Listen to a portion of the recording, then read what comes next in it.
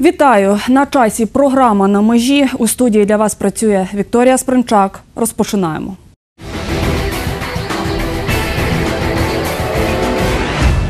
Страшна пожежа спалахнула у Дунаївцях на складі цеху з переробки деревини. Там загорілися будматеріали. Вогонь швидко поширювався. Була загроза перекидання на суміжні будівлі і споруди. На місце події додатково було направлено пожежно-рятувальні підрозділи Ярмолинець, Нової Ушиці, Кам'янця-Подільського та Хмельницького, а також місцеві пожежні. Всього на пожежі працювало майже шість десятків вогнеборців. Завдяки діям рятувальників вдалося запобігти розповсюдженню пожежі на поряд стоячу будівлю, де також знаходилось е, лісоматеріали. На жаль, не обійшлося без втрат. Під час виконання службових обов'язків загинув 56-річний заступник начальника головного управління ДСНС Петро Себіга. За попередніми даними, чоловік гасив пожежу, яка виникла у цеху з обробки деревини, і втратив свідомість. Невідкладні реанімаційні заходи не врятували його життя. Ми висловлюємо співчуття рідним та колегам Петра Себіги.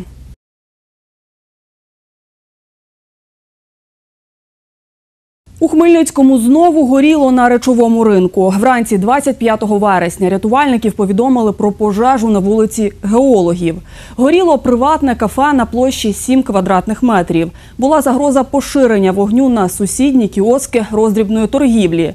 Тож до ліквідації полум'я задіяли 6 чоловік особового складу на двох пожежних машинах. Загиблих та травмованих під час пожежі не було. Причину загоряння нині встановлюють експерти. По прибуттю е, на місце було виявлено, що горить холодильник, оздоблення стін та е, підлога. Завдяки злагодженим діям е, пожежно-рятувального підрозділу пожежа ліквідовано в тих обсягах, в яких вона набула на момент прибуття.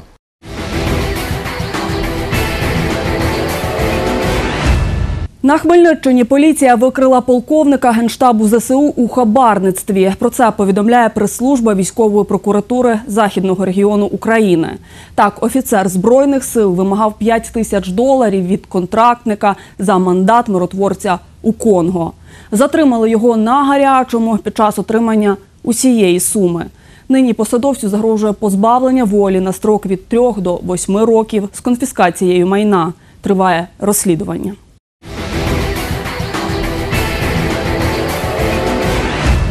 Близько двох місяців минуло з тих пір, відколи у єдиній системі електронних петицій містяни зареєстрували пропозицію створити в обласному центрі крематорій.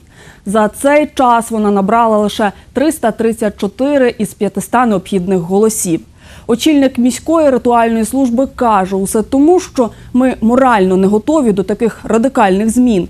Хоча сам каже, підтримує таку ініціативу, адже додає кладовище потихеньку з'їдає територію обласного центру. Докладніше у сюжеті. Біля п'ятого колеса колишнього в центрі міста кладовище, е, Вінницький, е, теж кладовище німецьке колишнє, е, парк Шевченка. Теж на кладовищі. Та навіть е, ця частина, де ми на даний час знаходимося, е, якщо подивитись колишні карти, то починаючи від Фельшинського переїзду і далі це все йшло кладовище. Далеко не весь перелік старих кладовищ, які свого часу з'їв обласний центр. Нових сьогодні маємо не менше. Тепер вони з'їдають міські площі, яких, зважаючи на кількість населення обласного центру, щорік потрібно все більше і більше. Зважаючи на це, крематорій як вихід для Хмельницького, каже очільник міської ритуальної служби. До крема- кремації я ставлюсь позитивно, оскільки я вважаю. Е- Використовувати стільки земель під кладовище, коли на цій землі може бути щось інше, е, це недоцільно. Такими темпами ми ну, всі от землі навколо міста, ми їх заселимо кладовищами. Сергій Бортник додає, на жаль, зводити крематорії в місті сьогодні недоречно, бо далеко не всі городяни морально готові відступити від усталених традицій поховання. Він буде простоювати, а отже, місто нестиме збитки, при тому, що витратити на зведення крематорію доведеться навіть не сотні тисяч, а мільйони бюджетних гривень. Сума, яка коштує це обладнання, це мільйон 250 тисяч євро. Так?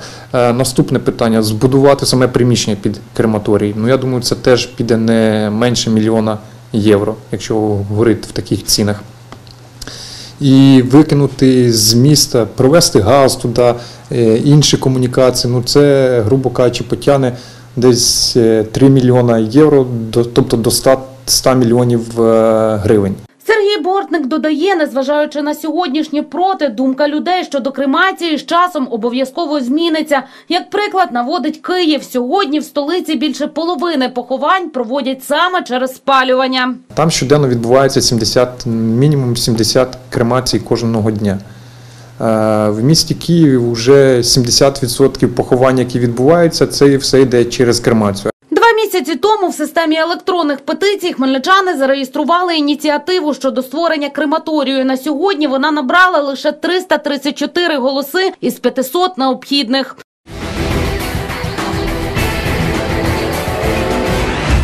Запобіжний захід залишити без змін, продовжити термін тримання під вартою. Цього тижня відбулося чергове засідання суду по справі Романа Миколаєва. Захист, як і на попередньому засіданні, клопотав змінити міру запобіжного заходу на більш м'яку, тобто відпустити підзахисного під домашній арешт.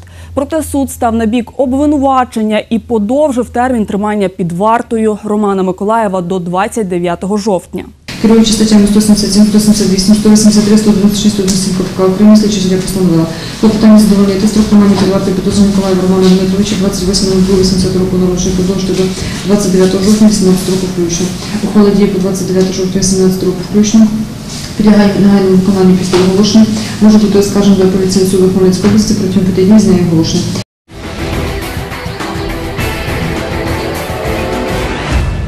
Позашляховик для дільничного. Коп із Старосинявщини отримав Рено Дастер. Автівку йому вручили для роботи, адже він обслуговує найвіддаленіші села району.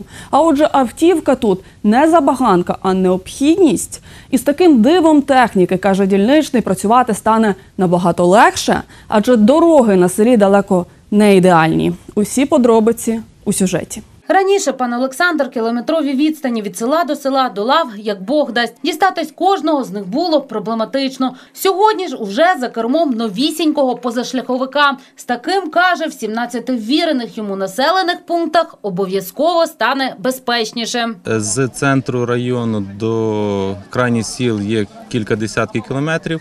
Тому даний автомобіль е, дасть змогу швидше оперативніше реагувати на повідомлення громадян даного нашого Староснявського району, а також е, своєчасний розгляд повідомлень, заяв про порушення, адміністративні правопорушення, кримінальні та інші події. Ані відстані, ані сільські дороги не завадять дільничному швидко та якісно виконувати свої посадові обов'язки. Староста населеного пункту каже, тепер без остраху чекає на зиму, адже ця пора року зазвичай створює найбільше перешкод на захисті правопорядку в селі. дорога не дуже така ідеальна, як на трасі.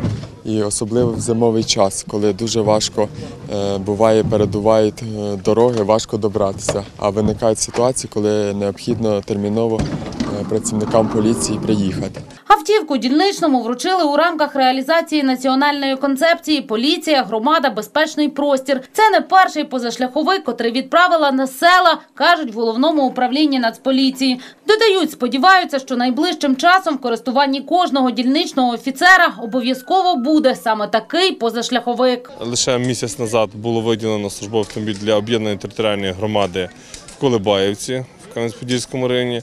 І сьогодні ми маємо автомобіль для Старосинявської об'єднаної територіальної громади. І я думаю, що в рамках реалізації цієї концепції буде виділено автомобілі поступово для кожного дільничного офіцера поліції. Автомобіль це фактично його можливість бути ближче до громадян, до людей і якісніше надавати поліцейські послуги.